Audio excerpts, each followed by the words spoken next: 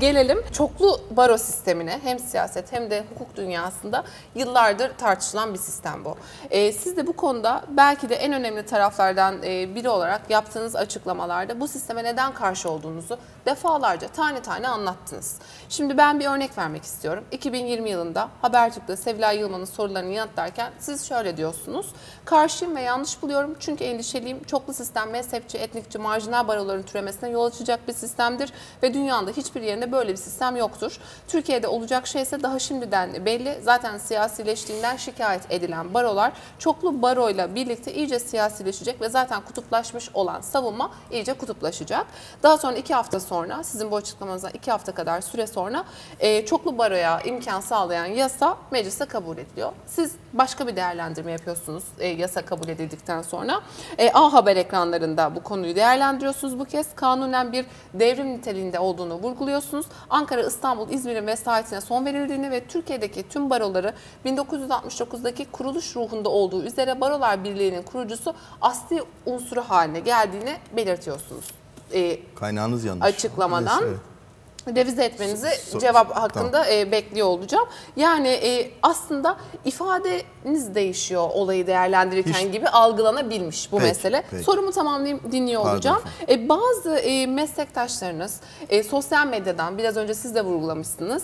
E, sizleri ağır şekilde eleştirmiş. Demişler ki U dönüşü yapmış, çark etmiş. Hatta bir meslektaşınız ağır bir ithamda bulunmuş. E, Avukatlar Mahallesi'nde bekçi mürteza benzetmesi yapmış sizin için bu açıklamalardan sonra.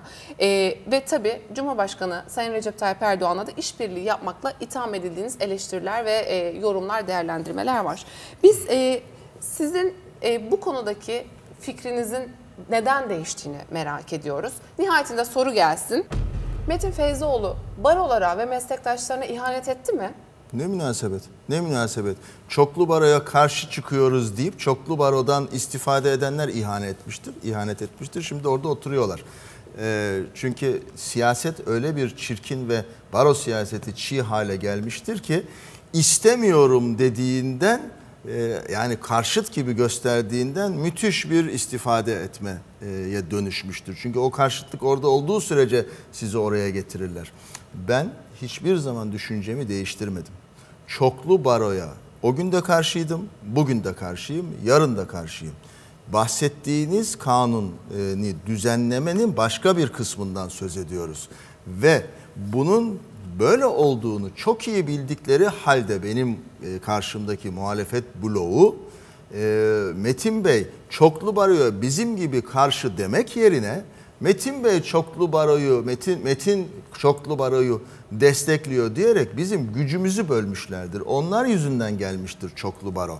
Şimdi o kanunun iki bölümü vardı. Birincisi işte belli sayıda avukat olan yani 5000 ve üstü avukat olan yerlerde ikinci baronun kurulmasına imkan veren kızım. Çoklu baro kısmı o.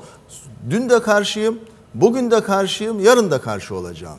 Ama aynı kanun hükmünün Anadolu'yu yok sayan, maraba pozisyonuna düşüren, oylamada bile söz hakkı vermeyen, tamam sizin konuşmanıza gerek yok dedirten delege sistemi vardı.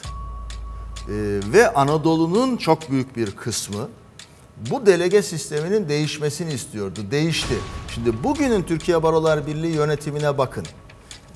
Kanunun bu kısmı sayesinde yani benim desteklediğim kısmı sayesinde tarihinde hiç olmadığı şekilde Anadolu Artı bir. Baroları Türkiye Barolar Birliği'nde bugün temsil ediliyorlar. Benim desteklediğim kısım o kısımdır ve Anadolu bunu sahiplenmiştir. Anadolu bunu sahiplendiği için Türkiye Barolar Birliği yönetimini bugün Anadolu e, başkan hariç devralmıştır. E, fena olsaydı devralmasalardı. Kötü bir şey olsaydı o kanun hükmü. Hayır biz bu hakları kabul etmiyoruz. E, yine Ankara, İstanbul istediği gibi at koştursun. Bize maraba muamelesi yapmaya, bize e, lüzumsuz böcek muamelesi yapmaya devam edin deselerdi. Biz kaynaklarımızı ve imkanlarımızı e, sosyal adalet çerçevesinde imkanı olmayan Anadolu barolarına e, ağırlıklı olarak yönlendirdiğimiz için İstanbul Barosu'nun başkanı çıkıp benim paramı Anadolu'ya veriyorsunuz diyebilmiştir kendi parası olmadığı halde. Benim benim imkanlarımı Anadolu'ya kullandırıyorsunuz diyebilmiştir. Ondan sonra da ben avukatım diye e, nutuk atmıştır. Bir avukatsan sen en önemlisi mesleki dayanışmadır. Hiçbir şekilde doğru değil o soru.